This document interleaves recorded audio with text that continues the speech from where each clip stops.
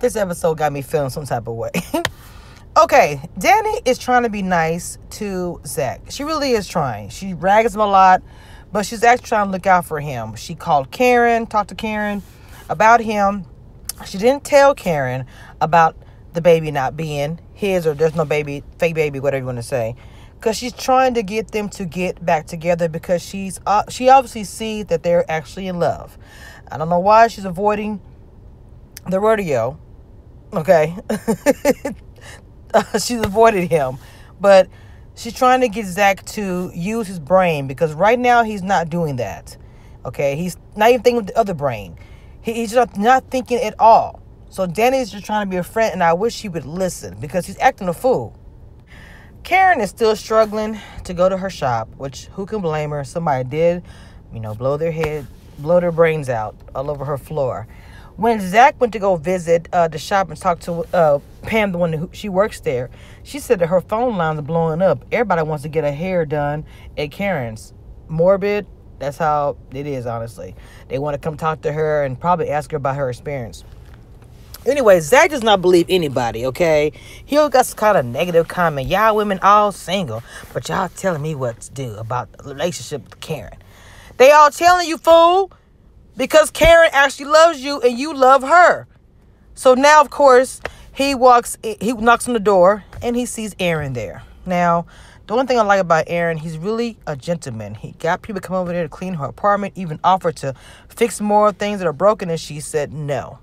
Yeah, I thought he was gonna do something stupid when he saw him there, but thank God he didn't. Her and Aaron had a really had a good talk because of course she knew about his drinking and drugs in the past and how he's sober now. And she helped him with that, which I thought was pretty cool. And she also broke down and told him that, you know, her and Zach are well, they were trying to do something. And of course, seeing him cry on her shoulder and everything made Zach go into this whole crazy tailspin. And Zach was still being like kind of crazy when he came to the door, but he didn't react too bad. So I'm sure Karen and Zach are about to have a really long and serious conversation. Sabrina was embarrassed because when she tried to get back with Calvin, Calvin was like, lose my number. Not only that, he needed to do a deposit. So he sent a, a white woman, I'm just gonna say it, and from his past. Uh, she walked in kind of with an attitude um, Maurice wanted to help her, and she was like, "No, I want her to help me." She said, "I need to deposit," and she just kind of gave her a little bit of an attitude. I probably would have cussed her out, especially when she said, "Why me?" And she was like, "Exactly." I would have went smooth off on her.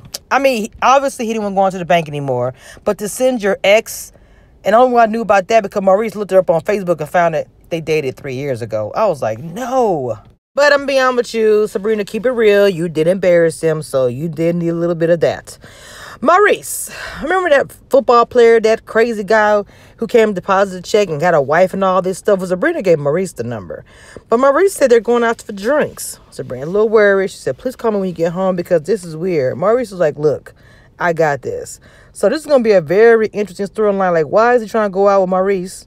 And he tried to went out to Sabrina in the first place. Mm. Now, in the beginning, when Andi made a suggestion because you don't remember that surprise that Fatima had and had Gary in the trash. Uh, you know, trying to say, oh, I was just trying to do all this stuff. Get your line behind up out of here. I'm done with Gary. Bye.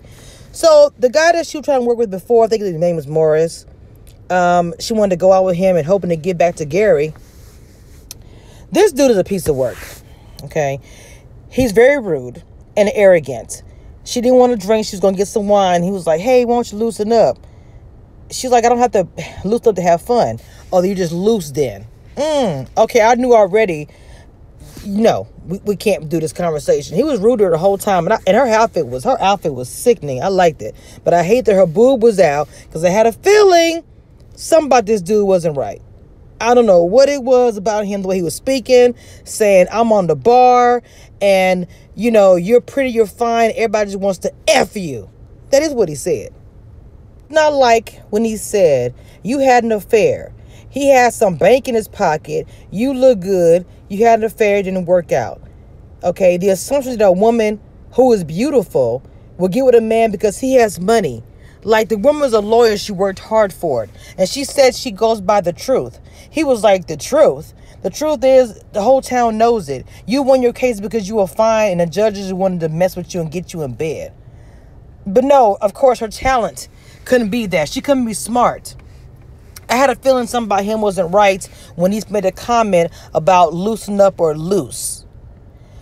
Well, he then has the nerve to say, calm down. You know, I don't want to, whatever, whatever, argue and all this stuff. I'm not trying to blah, blah, blah, all this crap.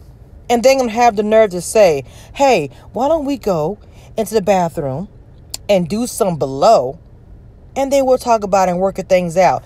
And when he said, you know, I'm part of the bar, you knew that, didn't you? It's like she, he's trying to say, well, yeah, that's why you want to get me to go out with you because you're part, you are on the bar. She didn't know any of that information. Okay, maybe other women have done it to him in the past, but the assumption that she did that, she was just trying to get out and maybe hopefully the word get to Gary so Gary will leave her alone. Okay, and representing the client um, is he's representing the other side. There's no way I'd be doing any kind of business with this man. I wish she hadn't gone there at all. So she goes. So he says, go to the bathroom and get the blow. She's like, yeah, go hang out the bathroom. I'll be right back. She runs outside. I kept saying, run, Andi, girl. You are in danger. Run, child, run. So she's running. She gets to her car. The valet, the line is long. The line was long for a valet. I was like, come on. There's a car in front of her car. So she runs to her car, gets in her car. And I don't know. She kept rolling one down saying, hey, hey, hey. I wish. I said, what kind of car doesn't automatically lock? I said, so, okay. She's sitting in her car and he gets in and said, you're going to stand me up. She said, get out of my car. He said, that's your problem. And we're to grabbing her and all kinds of said, Laura, please do not do not rape her. Please. Oh my God. I don't know what is going on. But I hope that's not about to happen. I'm just so hoping he is not about to rape this woman. I just, I'm frustrated because this does happen in everyday life. But the assumptions that a man has about women to me is just asinine. Don't you assume that a woman wants you for your money or because you're attractive or because she's attractive. There's an ulterior motive. She's a lawyer. She says she worked hard. She does not want to lose her license because of a situation that she had with another man that blew up into this. Yes, she's a woman. She's admitting to her faults and everything else, but she should not be penalized by losing her license, something she did work very, very hard for. And for another man to put in a position, because to me, I was assuming he's going to like say, "Hey, give me some, be with me for a minute, or whatever," and I will make sure this whole. Because even said, "I'll make sure this whole thing goes away." So no, I don't like that. And um, the preview of next week, I didn't have a chance to look at it, but you know I'll be coming back for that. I would like to hear you guys' opinion in the comments about what do you think about this episode? What do you think about Andi? Okay, we're hoping that she did not get attacked, but he was attacking her. He was grabbing her and everything, and the show went off. So we don't know. Is Maurice okay? He's going out to uh um uh think I'm not well, I'm not sure if he's part of this the show or not. Um he called them entertainers. Okay. Um, I, I did see a picture of him wearing a dress. So he's probably going to go up there and put a show on. Okay. But I guess everyone's worried about this guy because of the fact that he came on to her. I don't know what's going on with that. I'm hoping Danni will get with the rodeo guy. And I'm hoping Karen and Zach can work it out. Whatever's going to happen. But I ain't going to lie. I do like her with Aaron. But that's my commentary. Sistas on BET, please make sure you guys like, comment, and subscribe.